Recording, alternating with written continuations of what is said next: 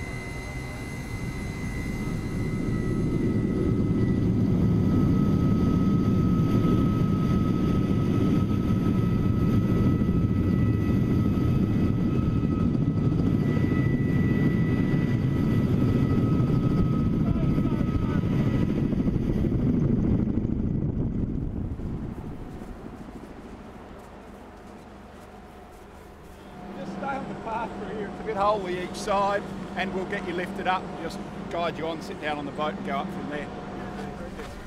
All right, here we go. I've got separated from my grab bag. Not that on yet. No worries, have fun.